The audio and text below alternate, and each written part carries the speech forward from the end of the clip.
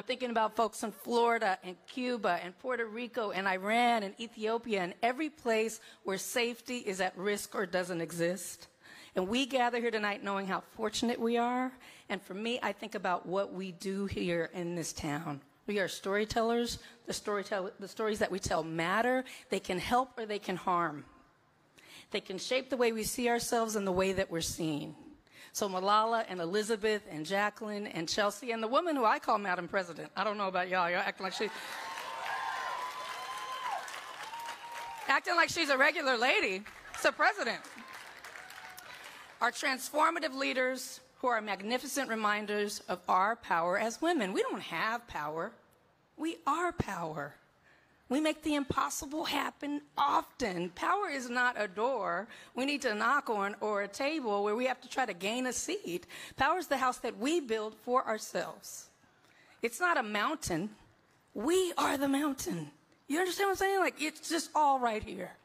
And with Queen Sugar, our mountain was a mission to take care of both what was in the story and also the way we told the story and who got to tell the story.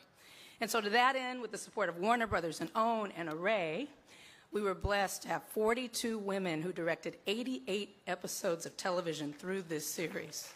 Okay? 39 of the 42 had never directed an episode of television before they accepted the invitation. Sometimes people hear that and they think, oh, you just got randoms off the street? No. They were directors. They made independent films. They directed Broadway. They were cinematographers. They were professors of film. And they wanted to direct or they had directed an independent film, and yet they still couldn't get an episode of television. And these women have gone on since their first episodes of Queen Sugar to direct the following. It's a list, y'all. Ready? I don't hear if people are ready. Let me know if you've watched any of these. Bridgerton, Lovecraft Country, The Umbrella Academy. These are fil- shows that these women went on to direct. Cherish the Day, Bel Air, 13 Reasons Why, Billions, Blackish, Grey's Anatomy, One Perfect Shot, The Handmaid's Tale, Naomi, Ozark, Yellowstone, 1883, P Valley, Riverdale, Gilded Age, How to Get Away with Murder, The Walking Dead, Insecure, A League of Their Own, You, The Cleaning Lady, A Black Lady Sketch Show, Queen Sugar Directors, Luke Cage, Wonder Years, All Rise, Animal Kingdom, Westworld, and one of them even went on to be the first woman to direct a unit of a little film franchise called Star Wars. Okay? We're brushing off our shoulders. We're feeling good. We're feeling good about it. So I want to thank Variety for taking their accomplishments seriously, for understanding the import of our show and of our mission for tracking and reporting on the way that the show shifted representation of women helmers. Angelique Jackson, sister, who works at Variety, her editors, Romina and Cynthia, took the time to speak with every woman director of Queen Sugar for this special issue. Angelique created a profile of each and every one. She wanted to do this, a stunning acknowledgement that I can't thank her and Variety enough for. Many of these talented directors are here tonight and you should meet them.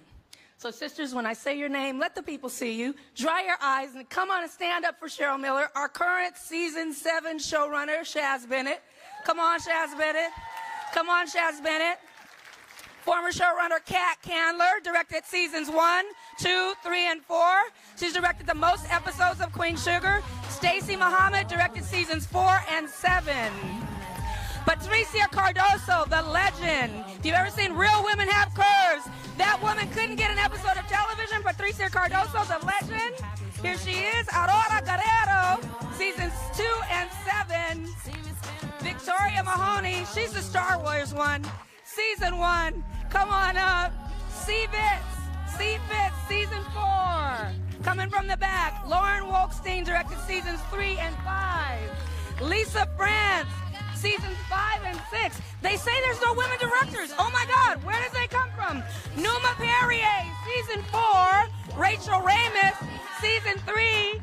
Stephanie Turner, season six. Chaiko Mwale, season four. Where is she, Chaiko? Come on up. Y'all got to make room for your sisters. And Marie Jamora, season six.